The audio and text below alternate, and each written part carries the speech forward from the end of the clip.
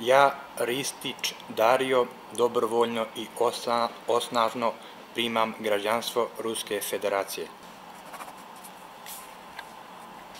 Ваш Спасибо паспорт. большое. Поздравляю вас. Спасибо. A ja prišao na, a, a, prvo u Moskvu, iz Moskve sam prišao na teritoriju Donjecka, gdje sam se prijavio kao dobrovoljac da služim ruskoj armiji.